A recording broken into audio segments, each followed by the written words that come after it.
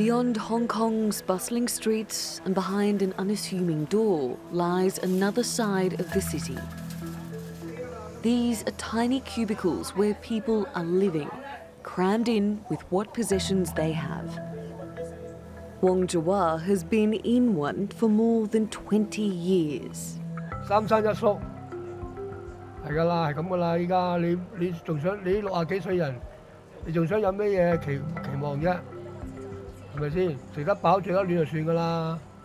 佢佢政府幫你咧，佢又唔會餓親你，唔會餓親你，咁佢又俾你住，所以都算係咁㗎啦。He's unemployed and relies on government assistance to get by. 我哋就申請緊誒、呃公共房屋嘅，咁佢依家話話排期都要排三年幾四年，我已經申請咗兩年啦，咁咪有等咯，冇辦法。Wong is just one of the 286,500 applicants for public housing. The Hong Kong Housing Authority already provides homes for more than 2 million people out of the territory's 7 million.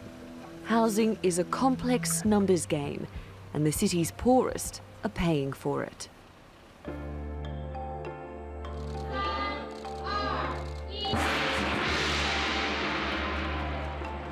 The financial hub is one of the world's richest regions, but not everyone can get ahead, as there's huge wealth disparity here.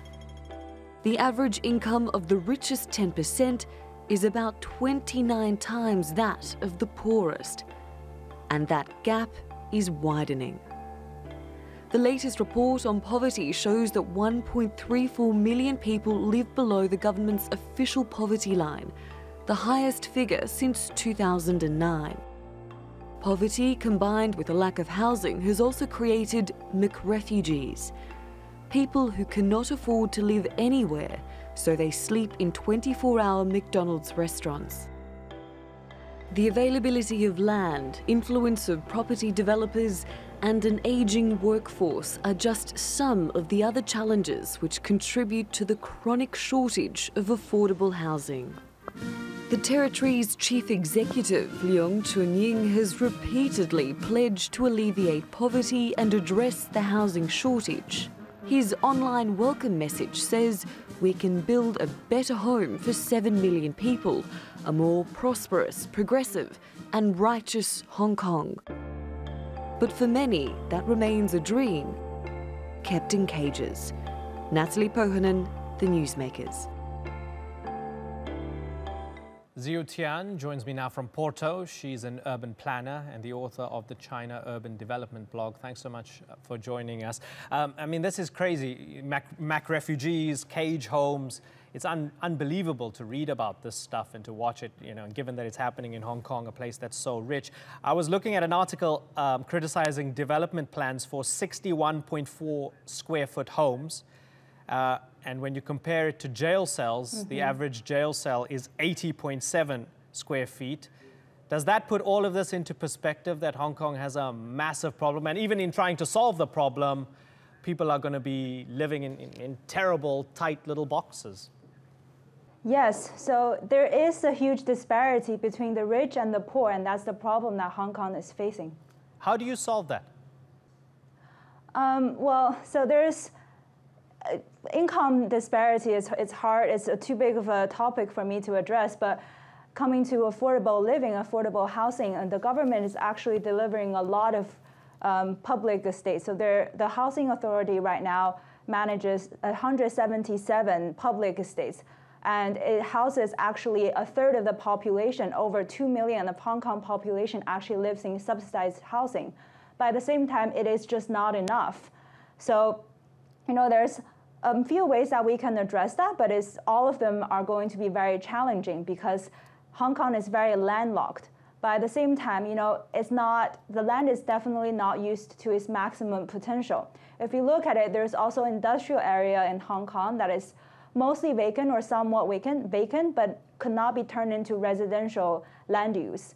Um, so if the government could relax the regulation on how to transform um, certain land use to you know, house low-income families or house more residential um, use, use as residential usage, it would solve part of the problem. And also at the same time, the government is doing it alone. The government is trying to build more estates to house more low-income family. But you know, there's a lot more potential if they could bring along private developers, create more public-private cooperation. So in, in, terms of you know giving more tax incentives for um, private developers to build more, to build more that could actually house low-income or even moderate-income families, that would help um, the housing issue. The development minister, Paul Chan Mopo, said, quote, the government does not have a magic wand to create land out of nothing. That seems mm-hmm. to suggest that the government believes that right. you know space is an issue. You're saying it's not as much of an issue as, as they claim, but they're saying, hey, supply and demand, we don't have much space. What mm-hmm. are we mm-hmm. going to do? We have a tiny country and lots of people. Right. So as I said, I didn't say it's not an issue. It is actually the most important issue here is that there is not enough land.